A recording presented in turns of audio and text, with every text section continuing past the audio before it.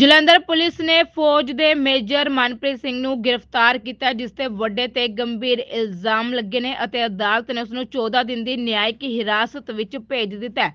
Major ਦੀ ਘਟੀਆ ਕਰਤੂਤ ਨੇ ਸਭ ਦੇ ਹੋਸ਼ ਉਡਾ ਕੇ ਰੱਖ ਦਿੱਤੇ ਨੇ। ਮੇਜਰ ਦੇ ਵੱਲੋਂ ਇੱਕ ਲੜਕੀ ਦੇ ਨਾਲ ਧੋਖਾ ਕੀਤਾ ਗਿਆ ਹੈ। ਮੇਜਰ ਨੇ ਰਿਸ਼ੀਕੇਸ਼ ਦੀ ਰਹਿਣ ਵਾਲੀ ਇੱਕ ਲੜਕੀ ਦੇ ਨਾਲ ਸ਼ਾਦੀ.com ਐਪ ਤੇ ਗੱਲ ਕਰਨੀ ਸ਼ੁਰੂ ਕੀਤੀ, ਫਿਰ ਉਸ ਨੂੰ ਵਿਆਹ ਦਾ ਝਾਂਸਾ ਦਿੱਤਾ। ਅਤੇ ਮੇਜਰ ਮਨਪ੍ਰੀਤ ਸਿੰਘ ਨੇ ਲੜਕੀ ਨੂੰ ਉਸ ਦੇ ਜਨਮ ਦਿਨ ਤੇ ਬਠਿੰਡਾ ਦੇ ਇੱਕ ਹੋਟਲ ਦੇ ਵਿੱਚ ਬੁਲਾ ਕੇ ਪਹਿਲਾਂ ਉਸ ਦੇ ਨਾਲ ਸਰੀਰਕ ਸੰਬੰਧ ਬਣਾਏ ਅਤੇ ਫਿਰ ਜਲੰਧਰ ਦੇ ਇੱਕ ਨਿੱਜੀ ਹੋਟਲ ਦੇ ਵਿੱਚ ਬੁਲਾ ਕੇ ਮੁੜ ਤੋਂ ਉਸ ਨਾਲ ਇਹ ਸਭ ਕੁਝ ਕੀਤਾ ਗਿਆ।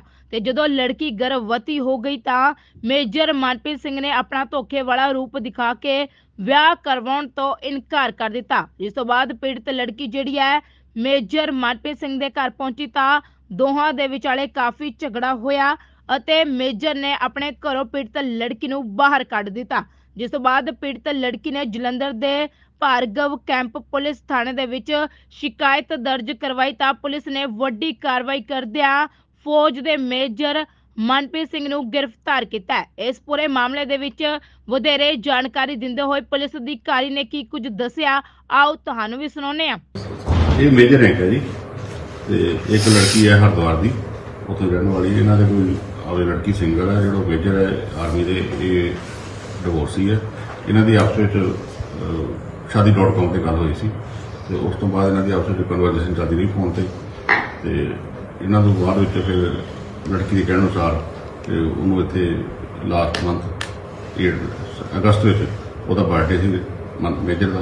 ਤੇ ਉੱਥੇ ਉਹਨੂੰ ਬੁਲਾਇਆ ਗਿਆ ਲੜਕੀ ਨੂੰ ਤੇ ਉੱਥੇ ਹੋਟਲ ਵਿੱਚ ਨਾਈਟ ਸਟੇ ਕੀਤਾ ਤੇ ਉੱਥੇ ਇਹਨਾਂ ਰਿਲੇਸ਼ਨ ਬਣੀ ਲੜਕੀ ਨੇ ਮਹਿਸੂਸ ਕੀਤਾ ਵੀ ਬਾਅਦ ਪ੍ਰੈਗਨੈਂਟ ਹੈ, ਤੇ ਉਹਨੇ ਫਿਰ ਆਪਣਾ ਟੈਸਟ ਕੀਤਾ ਘਰ ਵੀ ਤੇ ਉਹ ਪੋਜ਼ਿਟਿਵ ਆਈ।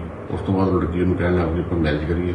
ਉਹਨੂੰ ਮੈਰਿਜ ਕਰਾਉਣ ਤੋਂ ਪਿੱਛੇ ਹਟ ਕੇ ਕਹਿੰਦਾ, ਮੈਂ ਨਹੀਂ ਕਰਾਉਣੀ, ਆਪਾਂ, ਮੈਂ ਨਹੀਂ ਬੇਬੀ ਨੂੰ ਰੱਖਣਾ ਵੀ ਮੋੜ ਕਰਵਾ ਦਿਓ।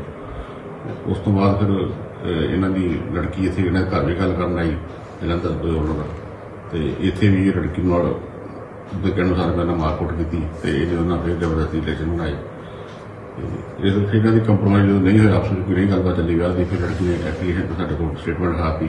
ਅਸੀਂ ਉਸੇ ਦਿਨ ਐਪਲੀਕੇਸ਼ਨ ਦਰਜ ਕਰਕੇ ਤੇ ਫਿਰ ਇਹ ਮੇਜਰ ਸੀ ਆਰਮੀ ਅਫਸਰ ਸੀਗਾ ਤੇ ਇਹਨੂੰ ਫਿਰ ਇਹੀ ਥਰੂ ਪ੍ਰੋਸੀਜਰ ਇਹਦੇ ਨਾਮ ਨਾਲ ਬਰਟ ਲੈ ਕੇ ਤੇ ਇਹਨੂੰ ਅਸੀਂ ਕੱਲ ਆਰਮੀ ਏਰੀਆ ਕੈਂਟ ਤੋਂ ਗ੍ਰਿਫਤਾਰ ਕੀਤਾ। ਕਿਹੜੇ ਹੋਟਲ ਦੇ ਵਿੱਚ ਦੱਸਿਆ ਜਾ ਰਿਹਾ ਹੈ? ਨਾਮ ਨਹੀਂ ਮੈਨੂੰ ਯਾਦ ਇਸ ਵੇਲੇ ਬਠਿੰਡੇ ਦਾ ਹੋਟਲ ਕਿਤੇ ਵੀ ਕਾਫੀ ਉੱਥੇ ਮੁਸ਼ਕਲ ਵੀ ਕਰਨੀ ਪਈ ਜਦੋਂ ਰੈਸਟ ਕਰਨ ਗਏ। ਇਹ ਕਿਹੜੇ ਕੈਂਟ ਏਰੀਏ ਦੇ ਵਿੱਚ ਜਿਹੜਾ ਸੀ, ਜਲੰਧਰ ਦਾ ਸੀ ਕਿ ਬਾਹਰ ਦਾ ਕੋਈ? ਨਹੀਂ ਨਹੀਂ, ਬਠਿੰਡਾ ਕੈਂਟ ਏਰੀਆ ਸੀ। ਇਹਨੂੰ ਉੱਥੇ ਨਹੀਂ, ਕੋਈ ਮੁਸ਼ਕਲ ਸਾਨੂੰ ਥੋੜੀ ਕੱਲ ਇੱਕ ਦਿਨ ਪਹਿਲਾਂ ਕਰਨੀ ਪਈ ਸੀ, ਕਿਉਂਕਿ ਉਹ ਸਾਨੂੰ ਹੈਂਡ ਓਵਰ ਨਹੀਂ ਸੀ ਕਰਦੇ ਉਹ ਸੱਚ ਉਹਨਾਂ ਦੀ ਮਜਬੂਰੀ ਸੀ, ਉਹ ਉੱਥੇ ਨਹੀਂ ਸੀਗਾ ਅਸੀਂ ਕਹਿੰਦੇ ਉੱਥੇ ਹੀ ਹੈ ਤੇ ਉਹਨਾਂ ਨੇ ਕਲੀਅਰ ਕਰਤਾ, ਸਾਨੂੰ ਰਿਟਰਨ ਦੇ ਦਿੱਤਾ ਸੀ ਉਸ ਦਿਨ। ਤੇ ਅਸੀਂ ਅੱਜ ਤੋਂ ਕੱਲ ਜਿਹੜੀ ਲਾਸਟ ਡੇ ਹੈ ਉਹ ਤੋਂ ਹੈਂਡ ਓਵਰ ਕੱਲ ਉਹਨਾਂ ਨੇ ਫਿਰ ਸਾਨੂੰ ਪੁਲਿਸ ਕੈਂਟ ਬਠਿੰਡੇ ਦੇ ਸਾਡੇ ਹੈਂਡ ਓਵਰ ਕਰਤਾ ਸੀ। ਅਸੀਂ ਰੈਸਟ ਪਾ ਕੇ ਉਹਨੂੰ ਪੇਸ਼ ਕਰਤਾ ਕੋਰਟ 'ਚ। ਉਹਦਾ ਜੁਡੀਸ਼ੀਅਲ ਐਕਟ ਹੋ ਗਿਆ ਕੀ ਨਾਮ ਕੀ ਹੈ? ਇਹਨਾਂ ਦਾ ਪੂਰਾ ਰੈਂਕ ਕੀ ਹੈ? ਕੀ ਮੇਜਰ ਹੈ ਮਾਮਲਾ ਮੇਜਰ ਦਰਜ ਆਰਮੀ ਦੇ ਮੇਜਰ ਹੈ ਜੀ ਤੇ ਇਹ ਇਹਨਾਂ ਦਾ ਨਾਮ ਮਨਪ੍ਰੀਤ ਸਿੰਘ ਹੈ।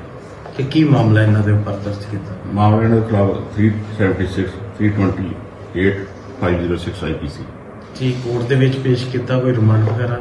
ਨਹੀਂ ਰਿਮਾਂਡ ਦੀ ਉਹਦੀ ਜ਼ਰੂਰਤ ਨਹੀਂ ਸੀ ਕੋਈ। ਸਰ 21 ਨੂੰ ਨੂੰ ਐਫ ਆਈ ਆਰ ਦਰਜ ਹੋਈ ਲੇਕਿਨ ਅਰੈਸਟ ਹੋਣ ਨੂੰ ਬਹੁਤ ਸਮੇਂ ਲੱਗ ਗਿਆ ਕੀ ਕਾਰਨ? ਨਹੀਂ ਉਹ ਥੋੜਾ ਪ੍ਰੋਸੀਜਰ ਅਡਾਪਟ ਕਰਨਾ ਪੈਂਦਾ ਸਾਨੂੰ ਮਿਲਟਰੀ ਏਰੀਆ ਤੇ ਰਹਿਣ ਬੰਦੇ ਨੂੰ।